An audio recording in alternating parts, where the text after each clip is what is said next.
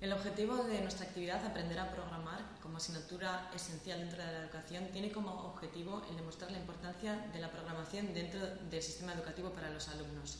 De la misma manera que a un niño se le enseña a leer y a partir de ese momento es capaz de leer por la calle carteles de información, de leer el periódico y forma parte de su cultura, aprender a programar le hará tener una visión más amplia de cómo funciona la tecnología que nos rodea hoy en día. Y esos aparatos que da por hecho que funcionan así, el saber por qué funcionan de esa manera es decir, a no ser solo consumidores de tecnología, sino creadores de la misma.